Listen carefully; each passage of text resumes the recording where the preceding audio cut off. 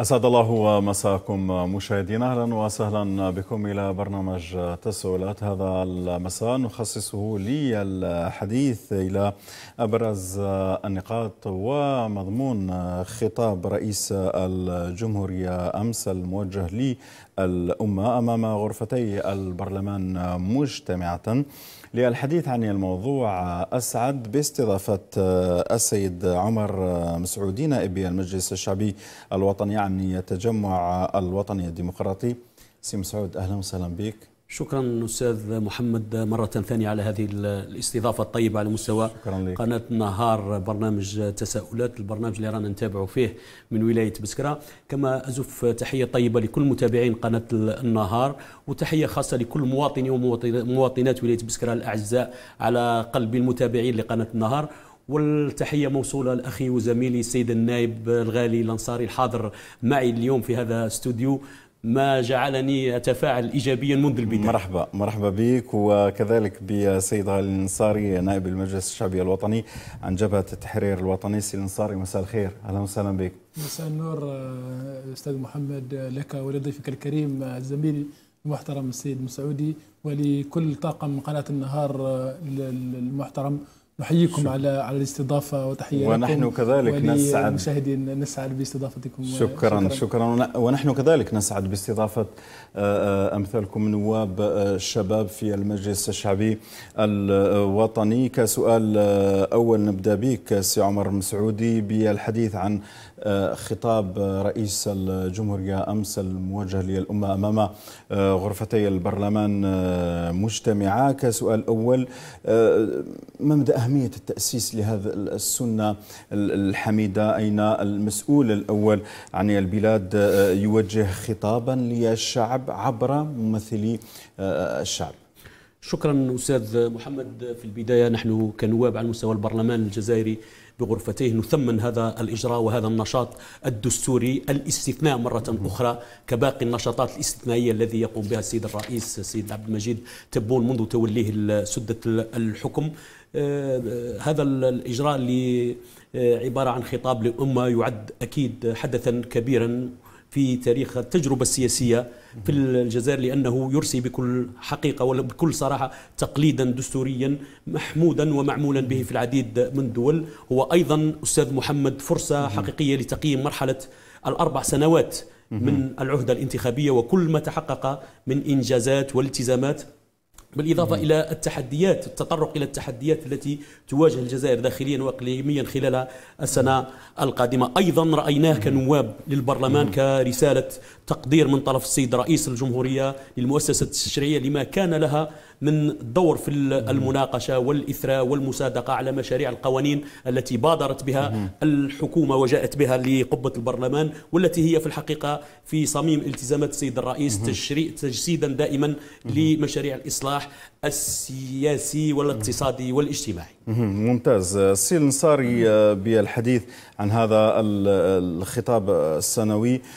فرصة لرئيس المخاطبة ممثلي الشعب. طيب نقطة جد هامة. وثمنتم هذا الخطاب السنوي. وهذا النشاط الدستوري يعني عندما نتحدث تأسيس لخطاب سنوي موجه للأمة أمام غرفتي البرلمان مجتمعة. أولا بسم الله الرحمن الرحيم. تحية طيبة لكم مجددا سي أستاذ محمد. نحن على مستوى البرلمان بغرفتيه نثمن ونثمن بشدة هذا هذه السنة الحميدة التي أسسها السيد رئيس الجمهورية الذي يعتبر الذي الذي يعتبر ممهد لسياسة جديدة ولديمقراطية تشاركية جديدة. أول رئيس منذ الاستقلال استدعى استدعى البرلمان بغرفتيه ليؤسس لخطاب الأمة. يعتبر هذه السنة بناء على الدستور بناء على صلاحياته. نحن على مستوى المجلس الشعبي الوطني نشد بيده لأن لأن المجلس الشعبي الوطني الجديد يعتبر لبنة من لبنات التزامات رئيس الجمهورية. بتجديد تجديد مؤسسات الدولة منها منها البرلمان ومنها تجديد النصفي. آه، أيضا نثمن آه، ما جاء في مضمون هذا الخطاب التاريخي آه، للسيد رئيس الجمهورية والذي يعبر عن التزاماته الأربعة والخمسين التي التي قام بوعد الشعب الجزائري الذي وباعتباره وعد ونفذ ما وعد به ونحن نلمس ذلك على أرض الواقع. ويعتبر هذا التأسيس سنة لكل البرلمانات القادمة ولكل الأجيال القادمة على أن السيد رئيس الجمهورية اليوم عبد المجيد تبون قام بوضع لبنة حقيقية وتاسيس جديد لما بعد لما, لما لأن التاريخ يسجل يسجل من أحرف من ذهب كما سجل نضال آباؤنا وأجدادنا لإستقلال الجزائر. اليوم السيد رئيس الجمهورية يؤسس لسياسة جديدة يؤسس لبناء مؤسسات جديدة خالية من كل الشوائب. السيد رئيس الجمهورية أكد أن المجلس الشعبي الوطني ومجلس الأمة نظيف. هذه هذه هذه التصريحات نعتبرها فخرا لنا ونعتبرها نعتبرها شهادة نعتز بها ونفتخر بها أينما كنا وأينما حللنا وتعطينا دفعة جديدة لبناء مؤسسات الدولة والحفاظ على مقدرات الدولة والمقدرات التي قمنا بها وعمل جبار جدا من خلال التشريعات التي سبقت سبقت الدورتين السابقتين ومن خلال الدوره هذه الدورة نؤكد عزمنا وتأكيدنا أننا نقف على يد رجل واحد مع السيد رئيس الجمهورية لبناء الجزائر الجديدة ولبناء الجزائر الخالية من كل الشوائب السابقة التي أدت كادت أن تؤدي الدولة إلى الانهيار. نحن دائما واقفون وعلى قلب رجل واحد مع السيد رئيس الجمهورية ومع كل مؤسسات الدولة لبناء هذه والحفاظ على وطننا المفدى. طيب سيد عمر مسعودي سيد الرئيس في خطابه يوم أمس للأمة أمام غرفتي البرلمان المجتمعتين بقصر الأمم. أبرز العديد من المكاسب المحققة خلال الأربع سنوات الماضية عندما نتحدث في المجال السياسي الاقتصادي والاجتماعي نبدأ في المجال السياسي آه، آه، عندما نتحدث عن بروز جيل جديد آه، من المجالس المنتخبة. أنتم عينة من الشباب اللي وصلتوا إلى المجلس الشعبي الوطني. يعني أنتم يعني فيه برلمان جديد الآن. يعني في حركية كبيرة خاصة عندما نتحدث عن آه، آه، وصول آه، الشباب إلى هذه المجالس. شكرا مرة أخرى أستاذ محمد. وقبل الإجابة على السؤال تاعك الثاني أردت برك عطفا على كلمة أخي السيد النائب غالي. إحنا الشيء اللي عجبنا الأمس يعني في خطاب سيد رئيس الجمهورية كلقاءاته مع السادة الإعلاميين وممثلي وسائل الإعلام تلك العفوية تلك النية الصادقة مع شعبه تلك الأنفة تلك الرجلة إن صح التعبير في في في التعبير على موقف الجزائر في العديد من من من من المواقف آه، ارتياح كبير على مستوى الأسرة التشريعية آه، لدى متابعتنا لخطاب السيد رئيس الجمهورية الذي كان شجاع شجاعة سياسية كما عهدناه في طرح وبين على إلمام العديد من الأمور ربما ما نقدروش نحكموا نحكموا عليها ولا نقدروا نقولوا السيد الرئيس ربما ما على بالوش. لا السيد الرئيس على باله بكل كبيرة وصغيرة ويتابع وملم بكل شؤون المواطن الجزائري وشؤون الدولة. وكما قال سي غالي نحن نشد على يديه ونحن معه من أجل هذه الجزائر الجديدة التي نريدها واقعا حقيقيا يعيش فيها المواطن الجزائري. وبالرجوع إلى سؤالك سيدي الكريم أكيد السيد الرئيس مع وصوله لسدة الحكم رأى إنه هناك من الضروري إحداث تغيير في المشهد السياسي. يؤدي وبالتالي يؤدي التغيير هذا كان يجب يكون على مستوى المؤسسات السياسية وأدائها وذلك من خلال كان هناك تعديل الدستور 2020 وكانت هناك العديد من الإجراءات مثل مثل الاجراءات الانتخابات النيابية والمحلية. والتي كانت شفافة يعني وبعيدة كل بعد عن الممارسات السابقة, السابقة. والدليل حضور معك اليوم نائبين آه، جايين بفضل هذه الإصلاحات. نائبين جايين من الجنوب الكبير ومن الجنوب آه، ممثلين آه، للدوائر انتخابية كما يقولوا في قائمة على الأقل من 40 سنة. هذه ربما الفرص ما كانتش تتاح لباقي الشباب في مرات سابقة. اليوم لا نحن نواب ونحن نمارس الدور التشريعي والرقابي بكل ما تحمله الكلمة من معنى. كانت أيضا هناك أخي محمد حيوية كبيرة ظهر ظهرت خلال السنوات الأربع من حكم السيد الرئيس فيما يخص مراجعات كبيرة للقوانين خاصة تلك الناظمة للقطاع الاقتصادي كلها بعث للحياة السياسية وما يرتبط بها من مجالات عدة. صحيح. آه، سيد الأنصاري نقطة جد هامة تحدث عنها آه، آه، سيد عمر مسعودي عندما نتحدث عن هذه الإصلاحات السياسية الكبيرة عندما نتحدث عن بروز جيل جديد من المجالس المنتخبة اللي فيها شباب الآن.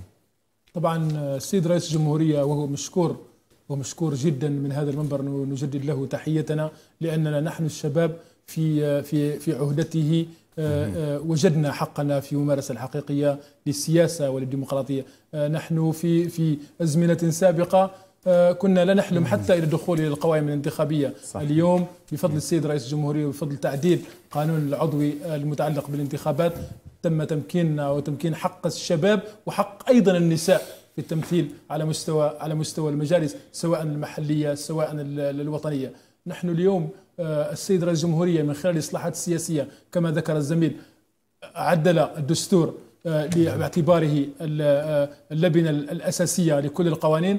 أيضا تعديل القوانين قانون الانتخاب الذي الذي يعتبر اللبنة. أيضا لأن الشعب هو الذي يعرف منتخبيه القوائم المفتوحة القوائم المغلقة كانت تؤدي إلى سلوكات شائبة. شابت شابت ممارسات ممارسات يعني كانت كانت هي التي أدت إلى برلمانات أو مجالس ليست ليست كفءه أيضا السيد رئيس الجمهورية من خلال رؤيته واستراتيجيته على الديمقراطية التشاركية أدى إلى تاسيس مؤسسات مؤسسات ذات سيادة مؤسسات تمارس حقها سواء لتوجيه الرأي العام للمجتمع المدني كما سماها السيد رئيس الجمهورية وباعتبار إنشاء المرصد الوطني للمجتمع المدني الذي يعتبر رأي عام للدولة. يعني الجمعيات سواء المحلية أو الوطنية كانت كانت غير غير مشاركة سواء في التنمية المحلية أو سواء على مستوى الوطن.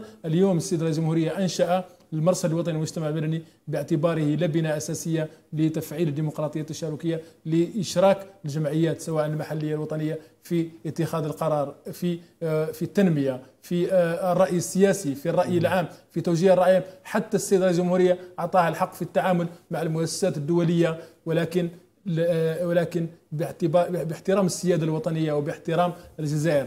أيضا آه، استحداث مؤسسة المجلس الشعبي المجلس الأعلى للشباب. الشباب كان غير ممثل الشباب كان صحيح. كان ضائع. اليوم لما نرى المجلس الأعلى للشباب بمختلف مكوناته ومختلف أعضائه نفتخر بهذا المجلس. السيد رئيس الجمهورية من خلال خطابه أكد بان بأنه لديه ثقة عمياء في المجلس الاعلى بشبابه وبشباب المجلس الأعلى للشباب. لما نرى الديناميكية والحركية الحقيقية لهذا المجلس نعتبر أننا في الطريق الصحيح لأن شبابنا يجب احتواؤه يجب يجب آه، فتح الأبواب له سواء سواء من قبل المسؤولين المحليين أو المسؤولين الوطنيين. لما نرى ذلك التفاعل ما بين الوزير والشاب آه، آه، عضو المرصد أو عضو المجلس الأعلى للشباب من خلال لقاءات ومشاورات وورشات مفتوحة تحت الرعاية السامية للسيد رئيس الجمهورية. نعرف أننا في الطريق الصحيح. السيد رئيس الجمهورية دائما ما يحرص على أن يكون أبواب المسؤولين مفتوحة لكل المواطنين. صحيح. يحرص أيضا آه، من خلال تعليمات السيد وزير الداخلية إلى السادة الولاد إلى استقبال آه، إلى استقبال المواطنين. السيد رئيس الجمهورية أكد أنه اضطر غير باغ لإقالة مسؤولين لأنهم لم يتحملوا مسؤولياتهم ولأنهم اعتبروا أن تعليمات السيد رئيس الجمهورية مجرد كلام وأن الدولة واقفة على كل صغيرة وكبيرة. يجب أن أن تتغير ذهنيات صحيح. المسؤولين سواء المحليين أو أو الوطنيين أن الدولة اليوم واقفة على التزاماتها وأن من يريد عرقلة هذا المسار فهو واهم وهو يعرقل السيد رئيس الجمهورية بحد ذاته. طيب نتحدث كذلك عن شق اقتصادي في إصلاحات اقتصادية عميقة كانت فيه قوانين كثيرة تتعلق بإصلاح الاقتصادي تتماشى مع متطلبات تحسين مناخ الأعمال تكرس الشفافية والمساواة بين كل المتعاملين الاقتصاديين. نحكي على قانون الاستثمار فيه نتائج كذلك تم تحقيقها. في هذا الجانب أستاذ عمار عندما نتحدث عن النمو الاقتصادي اللي وصل إلى 4.2% باعتراف من مؤسسات مالية دولية, دولية. نعم أستاذ محمد كما تفضلت اليوم هناك اعتراف من طرف المؤسسات الدولية المالية باللي هناك نسبة نمو تعرفها أو تشهدها الجزائر المقدرة ب 4.2% هذا النمو أكيد خلال جاء نتيجة الحركية الاقتصادية اللي, اللي أنا نشوفها شخصيا جاءت آه، على عمل على تأسيس الاقتصاد المحلي. الاقتصاد المحلي لأنه اليوم الجزائر وصلت إني عدنا نخموا إنه نحرروا الاقتصاد الجزائري من التبعية للنفط. حقنا المستوى إنه عندنا نفكروا إنه لازم تكون عندنا كما يقولوا صادرات خارج المحروقات. ولحقنا وحققنا أرقام السنة الماضية وسنة وسنة سنة 2022 وسنة 2023 المؤسسة التشريعية أكيد أستاذ محمد لعبت دورها. كمؤسسة تشريعية عند نزول كل مشاريع القوانين الناظمة للاقتصاد الوطني كان هناك تفاعل من الأسرة التشريعية أو من البرلمان الجزائري بغرفتيه. ذكرت على سبيل المثال قانون الاستثمار قانون المناطق الحرة قانون العقار الاقتصادي الموجه للاستثمار كلها قوانين جاءت بها أو بادرت بها الحكومة ونزلت البرلمان وتم إثراءها ومناقشتها والمصادقة تاعها من أجل دفع عجلة التنمية آه، على مستوى على مستوى الجزائر. وأكيد كانت هناك العديد من المشاريع الضخمة اللي راهي مطروحة اليوم. وشفت زيارة السيد رئيس الجمهورية لولايه تندوف والمشروع الضغط غار غار جبيلات والعديد ربما من المشاريع الاستراتيجية اللي عدنا نسمع عليها بعد سنوات كثيرة من اعتمادنا إلا على ثقافة الريع أو اقتصاد الريع. ودخلنا في دواليب آه، عمليات الاستيراد العشوائية إن صح التعبير اللي دخلت ممكن الجزائر في حالة من آه، المجهول. اليوم لا الجزائر اظن أظن وأؤكد ربما جازما وباتصالاتي ببعض المختصين إن الجزائر من سنة 1962 هذا ورانا عارفين ورانا رايحين هذا ورانا عارفين واش رانا نديروا هذا وراهي عندنا أهداف عندنا نهضروا على على الرقمنة وعلى الاستشراف وعلى الاستراتيجية وعندنا حتى بالنسبة اسمح لي ربما من الاقتصاد نروح لك الاكتفاء الذاتي للتغذية عندنا نهضروا على الاكتفاء الذاتي وعندنا نهضروا باللي لبستنا نخدموها إحنا وماكلتنا ناكلوها كما يقولوا نزرعوها وننتجوها إحنا. هذه كلها جاءت بكل صراحة يعني وبدون مزايدة وبدون شعبوية. كاين الكثير من المصطلحات عندنا نسمعوا فيها إحنا كشباب جامعي ونخبوي اليوم في قبه البرلمان. سمعناها خلال هذه العهدة بفضل الحكامة تاع السيد رئيس الجمهورية وتسيير المجلس الوزراء في العديد من الأمور. عندنا نسمعوا في شيء ونشوفوه على أرض الواقع من خلال نزول مختلف الوزراء لقبه البرلمان في مشاوراتنا معهم في مناقشتنا معهم عندنا حاسين كاين شيء راهو كما يقولوا كما قال السيد الرئيس أمس البلاد راهي رايحة ورايحه تتطور إن شاء الله. إن شاء الله. طيب ساواصل النقاش مع ضيفي. لكن بعد فاصل إعلاني فابقوا معنا. عودة إليكم من جديد مشاهدينا لاستكمال برنامج تساؤلات. سيد الأنصاري بالحديث عن إصلاحات اقتصادية كثيرة. إصلاحات صلب هذه الإصلاحات هو تقوية البلاد. عندما نتحدث الآن عن احتياطي الصرف اللي فوق 70 مليار دولار الجزائر لم تذهب إلى المديونية قوانين قانون استثمار قوانين كلها تصب في تحسين مناخ الاقتصادي ككل حركة اقتصادية كبيرة عرفتها الجزائر. آه، بسم الله الرحمن الرحيم. آه، من التزامات السيد رئيس الجمهورية في خطابه أنه ملتزم بعدم الذهاب إلى المديونية آه، وأيضا يطمح إلى تصدير الحديد بعد إنشاء غار جبيلات وبعد الزيارة التاريخية إلى ولاية تندوف. وأيضا ستصبح الجزائر أول بلد في تصدير الفوسفات. آه، وأيضا نمو يعني احتياطي الصرف للجزائر هو 70 مليار يعني الضعف الضعف قال لك الجمهوريه لقينا اليوم احتياطي الصرف ضعف على واش لقاه النهار الأول كي آه، أيضا أيضا أن السيد رئيس الجمهورية من خلال آه، عدة عدة قوانين التي شاركنا فيها على مستوى البرلمان قانون الاستثمار كما ذكر زميلي قانون النقد المصرفي قانون العقار الصناعي قانون العقار يعني كل القوانين إنشاء الوكالة الوطنية لترقية الاستثمار يعني آه، وإنشاء فروعها على مستوى على مستوى على المستوى الوطني. آه، أيضا استرجاع الأموال المنهوبة 30 مليار عقارات واوعيه مالية. سواء في الداخل وأيضا أكد السيد رئيس الجمهوريه أن الدول التي لديها أموال يعني مسلوبة من من قبل من قبل من سابقا التزمت التزمت أنها ستتعاون مع الجزائر. يعني هذه إنجازات كبيرة. أيضا أيضا أن أيضا القضاء على 26 ألف شركة وهمية. يعني آه، مما التي كانت تنخر الاقتصاد الوطني والعمله باستنزاف العملة الصعبة، أيضا الجزائر مصنفة من قبل الأمم المتحدة من دول المناعة يعني يعني أنها من قوة من من الدول التي لديها مناعة من المديونية ومن ومن الأعراض التي تتعرض اقتصاديا وحتى من حتى في التغذية يعني حتى في الدول الإفريقية الجزائر مصنفة من الدول التي ليست لديها أزمة في التغذية. يعني حتى على المستوى القريب عندنا اقتصاد قوي عندنا نمو اقتصادي قوي يصل إلى 4.2% يعني حتى دول كبرى حتى دول كبرى لا تصل إلى هذا الرقم في هذا الظرف الحساس.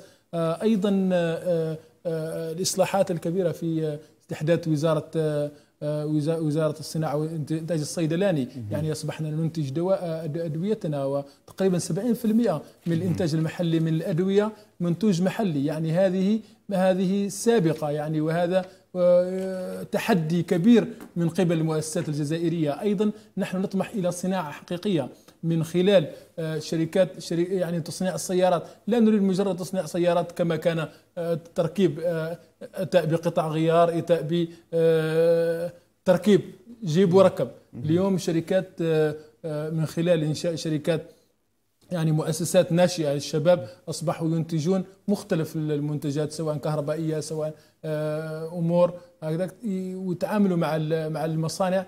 آه، يعني هذه أمور كلها كلها يعني آه، جيدة جدا. طيب سي عمر مسعودي بالحديث عن المكتسبات الاجتماعية اللي هي كثيرة نتحدثوا عن زيادة في الأجور المنح. كانت فيه ترسيم متعاقدين كذلك. نقاط كثيرة عندما نتحدث عن الجانب الاجتماعي.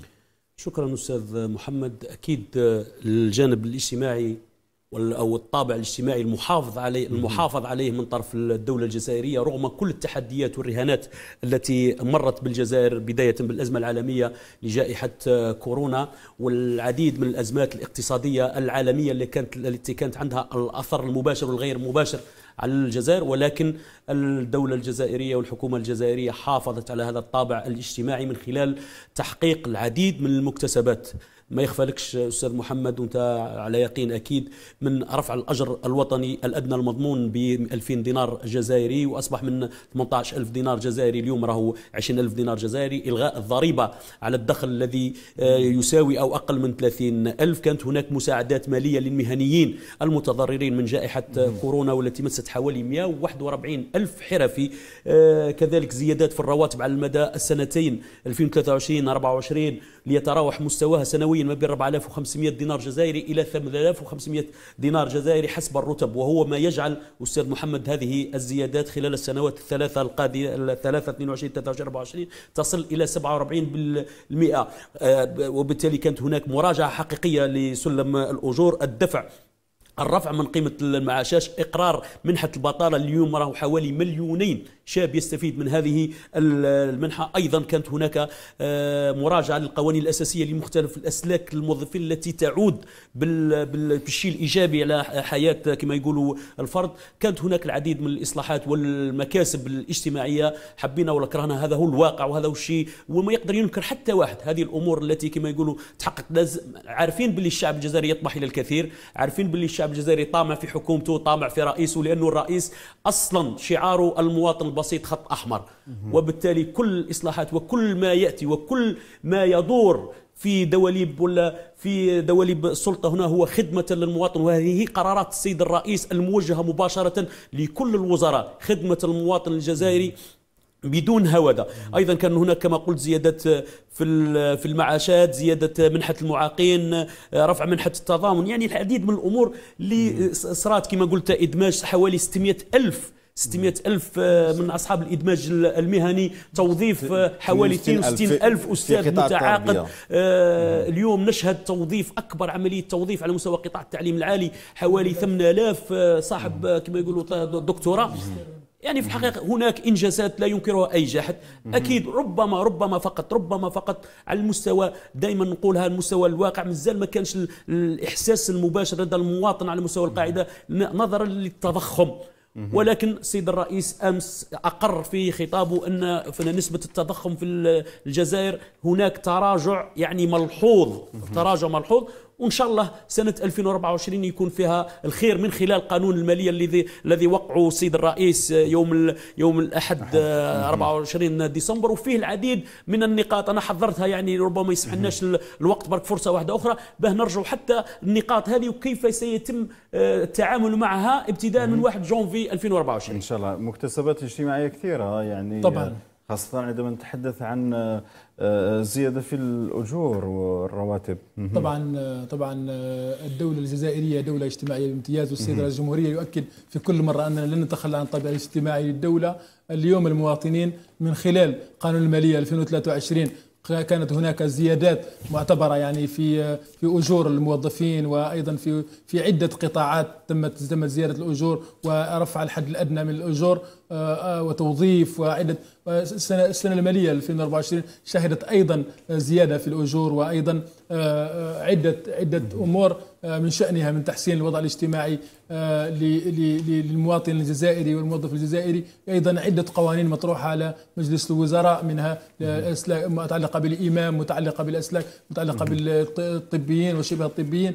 كل هذا من شأنه تحسين المستوى الاجتماعي والاقتصادي للمواطن الجزائري. أيضا أؤكد من هنا من أسمحك فقط؟ آه، يرفع على مسامعنا أذان صلاتي العشاء. الله صلاة الجميع. عودة إلى البلاطو. عد وأرحب بضيفي في البلاطو كل من السيد عمر مسعودي نائب المجلس الشعبي الوطني عن التجمع الوطني الديمقراطي وكذلك السيد غالي الأنصاري نائب المجلس الشعبي الوطني عن جبهة التحرير الوطني. السيد الأنصاري قبل الأذان كنا نتحدث عن المكاسب الاجتماعية اللي تحققت وكانت عندك فكرة كنت حاب تضيفها؟ طبعا فكره وفكرة مهمة جدا آه، لأن آه، قال لك الخير الخير ذكره وما تنساش. إحنا إحنا نثمن المجهودات اللي تبذلها الدولة الجزائرية. يعني وما نكروش الخير. يعني وخاصة إحنا من الولايات الحدودية الولايات العشرة الجداد اللي آه، أسسها السيد رئيس الجمهورية. يعني هذا هذا الالتزام وهذا العهد اللي وف اللي اللي قام به ووفى به في في أسرع وقت. يعني عام من خلال وخاصة في أزمة كورونا أزمة اقتصادية لكن ولكن تحدي كان كبير. آه، الولايات الحدودية عندها عندها عندها طبيعة خاصة وعندها طبيعة آه، جد مهمة جيو استراتيجية في وخاصة في برج برج المختار السيد رئيس الجمهورية نصف ساعة هو يتكلم عن برج المختار وهو أدرى الناس في برج المختار في برج برج المختار قبل عشر سنوات أو قبل مدة لم تكن برج برج المختار اليوم. أغلفة مالية كبيرة طرقات منشآت مديريات توظيف أمور أمور جدا تحسب تحسب للقيادة الرشيدة للدولة الجزائرية، اليوم ما علينا نحن كمنتخبين أو كمواطنين ان نرافق السلطات المحلية لتجسيد المبالغ المالية المرصودة لأجل التنمية، اليوم الدولة ما بخلتش علينا بوالو سواء عن طريق الطرقات التنمية المحلية يعني آه، آه، سكنات. يعني الخير راه متوفر. العيب علينا إحنا.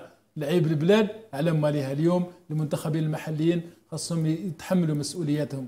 وهما اللي راح يطبقوا التنمية والدراهم هذه اللي راح مدتها الدولة وهم اللي راح يطبقوها. المسؤولين سواء الوالي أو المديرين أو ال ال يعني المنتخبين يعني من رؤساء المجالس البلدية.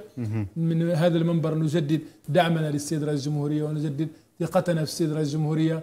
أننا نشد على يده وأننا نحن سكان برج المختار سنظل ممتنين له من من زيارته لبرج المختار وهو والي إلى اليوم وهو رئيس جمهورية يعني على يده أصبحت بلدية وعلى يده أصبحت دائرة وعلى يده أصبحت ولاية والقادم أفضل بإذن الله. إن شاء الله. طيب سي آه، عمر آه، آه، مسعودي بالحديث عن السياسة الخارجية للجزائر. الجزائر صوتها مرفوع ومسموع في كل المحافل آه، آه، الدولية ونتحدث آه، بفخر عندما نتحدث عن انتخاب الجزائر في منصب غير دائم في مجلس الأمن. الدبلوماسية الجزائرية التي عادت بقوة على الساحة الدولية. شكرا أستاذ محمد. أكيد منذ بداية العهدة الرئاسية للسيد رئيس الجمهورية ونشاطه في الدبلوماسية يعرف حيوية لافتة. مما سمح الجزائر ربما باسترجاع نسق مهم في العديد من العلاقات يعني. وأيضا نجح ربما السيد الرئيس في هندسة وهذه جعلته كما يقولوا الاستثناء ثاني دائما نجاح السيد الرئيس في هندسة علاقات خارجية تجمع ما بين البعدين السياسي والاقتصادي وهذا ما يحسب له فعلا ويجعله الاستثناء دائما. هناك أيضا كما قلت أستاذ محمد دبلوماسية كانت فعالة جدا أهلت الجزائر بالظفر بانتخابها كعضو غير دائم بمجلس الأمن للفترة 24-26 والتي ستدافع من خلال هذا المنصب الجزائر عن كل القضايا العادلة بما فيها القضية الأم القضية الفلسطينية. وكما أكد السيد رئيس الجمهورية نحن مع القضية الفلسطينية والشعب الفلسطيني ومع فلسطين ظالمة أو مظلومة. وأيضا القضية الصحراوية اللي هي في على مستوى هيئة الأمم المتحدة في إطار تصفية الاستعمار. كلها كلها كما كل هذه المواقف ولا كل هذه القضايا وغيرها من القضايا العادلة. كما قال السيد الرئيس نحن مع الضعفاء مع الضعفاء مع الدول. كما يقولوا المحتاجه المسانده من أشقائنا من أصدقائنا من باقي الدول. سنوظف هذا المنصب إن شاء الله في خدمة الدبلوماسية الحقيقية. شكرا لك. كلمة أخيرة كذلك عندما نتحدث عن العودة القوية للدبلوماسية الجزائرية على الساحة الدولية. الجزائر من خلال السنوات الماضية شهدت زخم كبير وعدة ملتقيات سواء دولية سواء على المستوى المحلي القمة العربية يعني قمة الاتحاد الإسلامي على مستوى الجزائر آه، عدة آه، انتخاب الجزائر كعضو غير دائم في مجلس الأمن يعني وانتخاب أغلبية 184 دولة آه، صحيح. بالإجماع على يعني هذا ما يؤكد حجم الجزائر وحجم قوة الدبلوماسية الجزائرية وامتناع أربع دول. يعني هذا انتصار للدبلوماسية الجزائرية وتحدي كبير للرهانات الجيوسياسية سواء على مستوى الداخل أو الخارج. الجزائر اليوم ستظل واقفة مع القضايا العادلة سواء القضية الفلسطينية التي هي أم القضايا والتي ورأينا في القضية الفلسطينية لن يتزعزع ولن يتزعزع حتى إلى قيام الدولة الفلسطينية نعم. وعاصمتها القدس الشريفة. آه، وأيضا آه، قضية الصحراء الغربية وهي قضية تصفية استعمار اليوم الملف على مستوى الأمم المتحدة والأمم المتحدة هي اللي تفصل. الجزائر ليست طرف في النزاع. الجزائر هي في بيان آه، أول نوفمبر مع حق الشعوب في تقرير مصيرها شكرا جزيلا لك آه، سيد غالي الأنصاري نائب المجلس الشعبي الوطني عن جبهة التحرير الوطني. أشكر كذلك. عمر مسعودي نائب المجلس الشعبي الوطني عن التجمع الوطني الديمقراطي. خير فقط. أخ محمد في, في عشر ثواني. في عشر ثواني. السيد رئيس الجمهورية فيه الخير الكثير الجزائر فيها الخير الكثير. بسكرة ولاية بسكرة. ما نقدرش نكون في منبر إعلامي ما نذكرهاش. تنتظر شكرا. التفاتة حقيقية من السلطات العليا من خلال الاستفادة من برنامج تكميلي لتدارك التأخر الفادح شكرا. الذي كان في السنوات الماضية. شكرا شكرا, شكرا لكم. على هذه الاستضافة. برنامج تساؤلات. السلام عليكم.